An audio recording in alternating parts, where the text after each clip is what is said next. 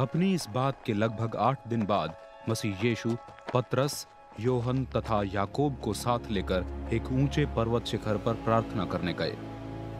जब मसीह यीशु प्रार्थना कर रहे थे, उनके मुखमंडल का रूप बदल गया तथा उनके वस्त्र सफ़ेद और उजले हो गए।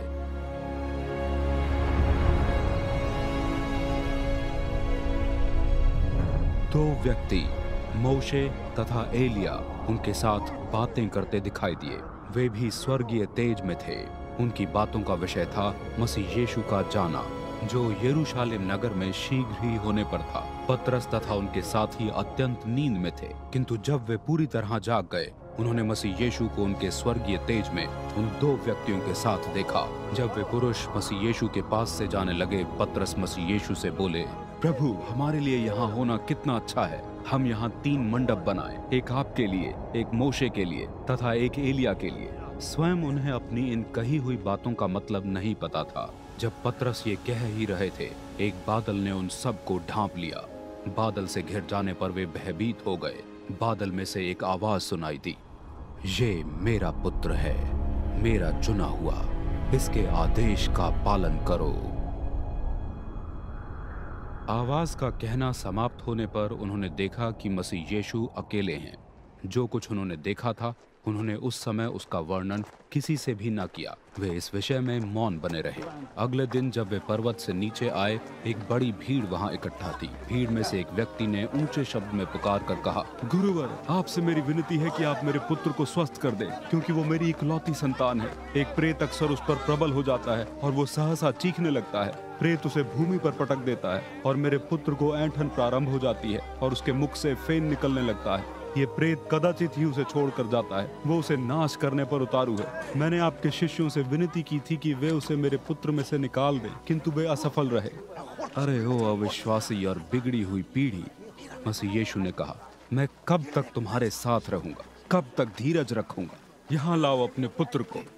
जब वो बालक पास आ ही रहा था, प्रेत ने उसे भूमि पर पटक दिया, जिससे उसके शरीर में ऐंठन प्रारंभ हो गई।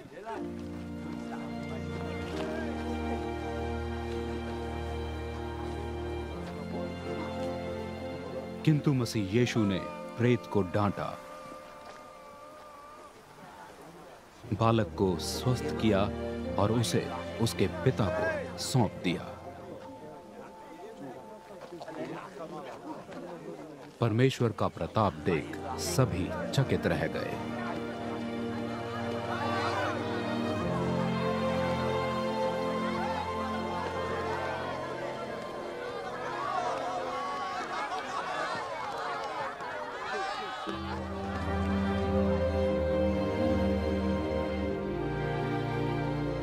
जब सब लोग इस घटना पर अचंभित हो रहे थे मसीह यीशु ने अपने शिष्यों से कहा जो कुछ मैं कह रहा हूँ अत्यंत ध्यानपूर्वक सुनो और याद रखो। मनुष्य का पुत्र मनुष्य के हाथों पकड़वाया जाने पर है किंतु शिष्य इस बात का मतलब समझ न पाए। इस बात का मतलब उनसे छुपा कर रखा गया था।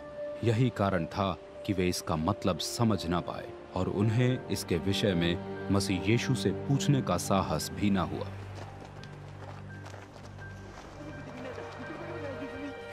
शिष्यों में इस विषय को लेकर विवाद छिड़ गया कि उनमें श्रेष्ठ कौन है।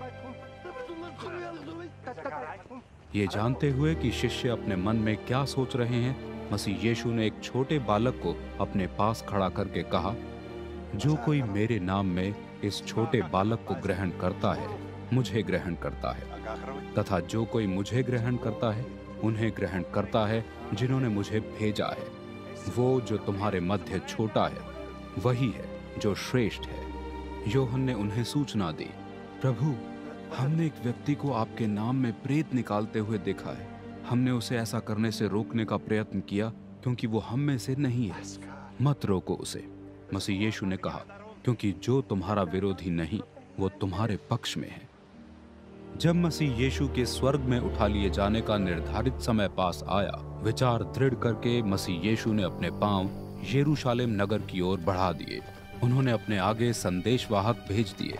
वे शोमरोन प्रदेश के एक गाँव में पहुँचे कि मसीह यीशु के आगमन की तैयारी करें। किंतु वहाँ के निवासियों ने उन्हें स्वीकार नहीं किया, क्योंकि मसीह यीशु यरूशलेम नगर की ओर जा रहे थे। जब उनके दो शिष्यों, याकूब और योहन ने यह देखा तो उन्होंने मसीह यीशु से प्रश्न किया, प्रभु, यदि आप आज्ञा दें तो हम प्रार्थना करें कि आकाश से इन्हें नाश करने के लिए आग की बारिश हो जाए। पीछे मुड़कर मसीह यीशु ने उन्हें डांटा, तुम नहीं समझ रहे कि तुम ये किस मतलब से कह रहे हो? मनुष्य का पुत्र इंसानों के विनाश के लिए नहीं, परंतु उनके उद्धार के लिए आया है। और वे दूसरे नगर की ओर बढ़ गए।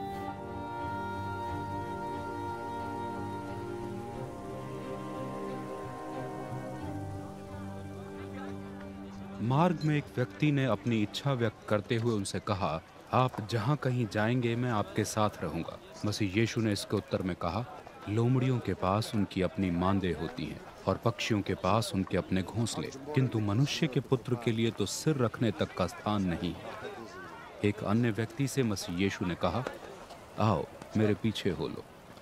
उस व्यक्ति ने कहा, प्रभु, पहले मैं अपने पिता के अंतिम संस्कार का इंतज़ाम कर लूँ। मसीह यीशु ने उससे कहा, मरे हुओं को अपने मृत गाड़ने दो, किंतु तुम जाकर परमेश्वर के राज्य का प्रचार करो।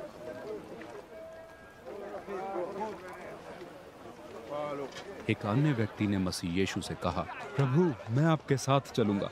किंतु पहले मैं अपने परिजनों से विदा ले लूँ।